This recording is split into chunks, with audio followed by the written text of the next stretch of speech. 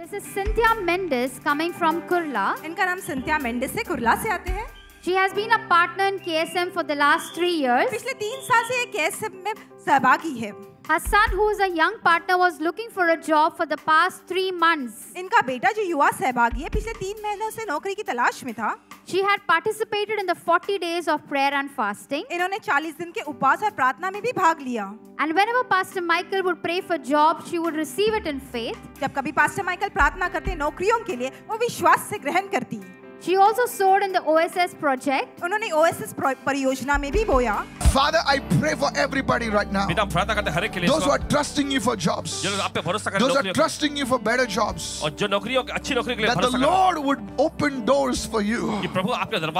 God, do this, O oh God. So that all the glory would be yours, Father. All the honor would be yours, Master. Lord, no one. You, you are the provider, O God. In the name of Jesus. And today is here to testify that this Friday, her son got a job in the field he wanted and will be joining on Monday.